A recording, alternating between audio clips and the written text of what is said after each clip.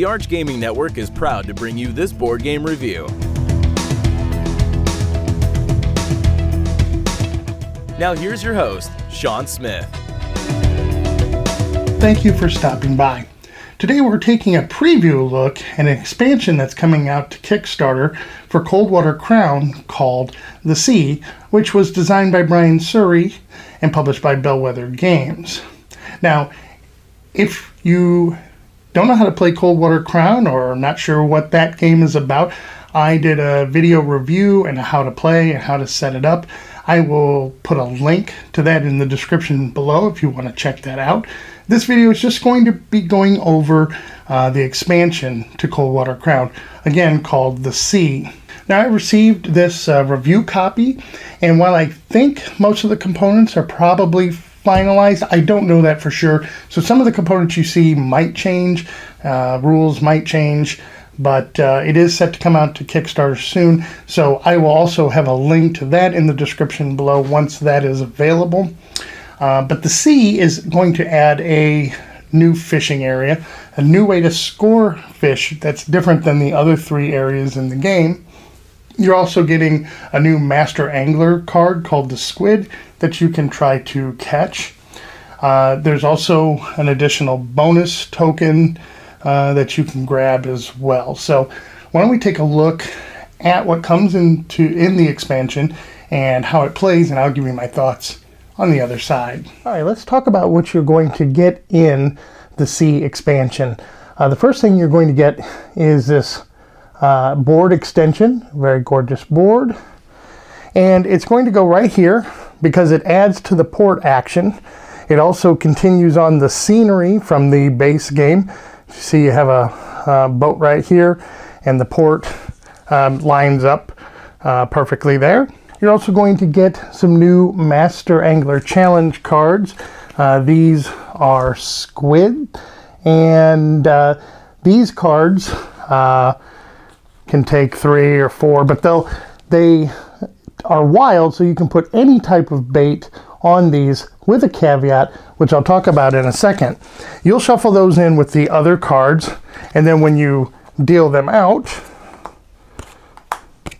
it'll be just a new master angler fish that you can take.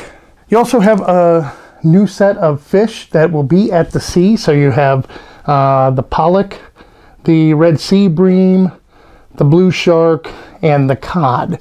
So you'll shuffle these. There's uh, five of each of them. You'll shuffle them, place them here, and then place them out just like you would any other region. You also get three uh, new bonus tackle tokens. These are anchors, and this bonus action allows you to take a free port action by discarding this on your turn. And finally, each player is going to get a fishing boat. Now this boat comes in uh, three pieces. Uh, so you will put them together. And this boat here is notched so if you wanted to get creative and have your boat sinking or, or whatever you could set it up that way. But each player will get one of those that they'll use when they are at sea. So those are the components that come into the box. Let's talk about how this uh, expansion adds to the game. All right, the sea adds an additional spot where you can fish. In the base game, you have the lakes, the rivers, and the shores, and now we've added the sea. Now the sea works a little bit differently as far as end game scoring, in that unlike the other areas where you will be given the most victory points for catching the most weight of unique fish at each location, at the seas, your victory points at the end of the game is going to be determined based on the pounds, how many pounds of unique fish you caught. So all players, you know, if they were to catch 36, between 36 and, and 48, would be able to get five victory points. All right, so how does the sea work? Well, for a port action, so if I had this here and I was going to go to port with a two, you can still you know, refill uh, a couple of spaces or take a couple of cards or a combination of the two. But now you can take your boat and come out to sea. That takes one port action.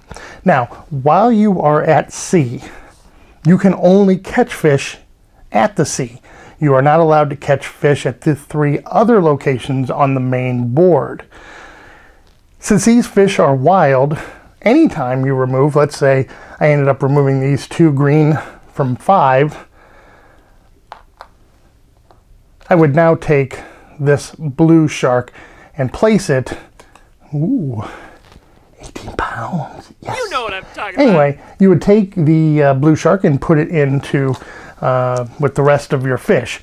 These fish do count towards the eight unique that you're trying to get uh, to get the points that are listed here.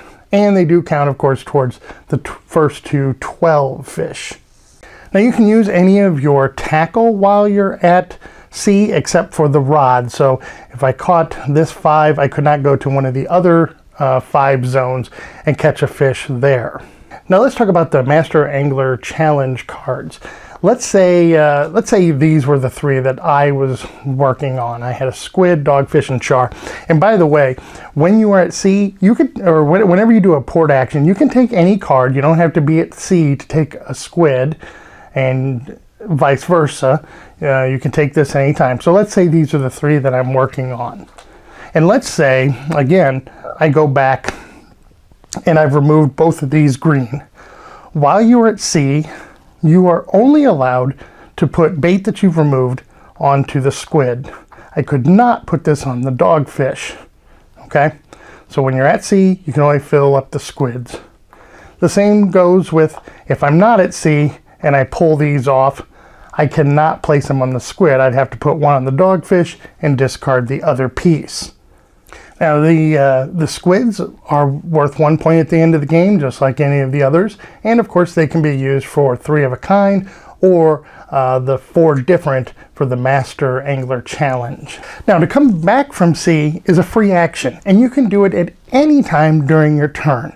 It doesn't matter. So for example, I could do something like this. I could take my two and place it on the green to remove all green bait from, uh, from here. Since I'm at sea, I can place these here like so. All right. I've now caught this blue shark like we mentioned earlier. Zone 5, I'd also pick up a, one of the tokens. Of course, we would shuffle these in with the rest of them. You wouldn't know which one you were getting. So I've now caught a blue shark. I could now come home. All right. So I, I could leave the sea, like I said, anytime during your turn for a free action.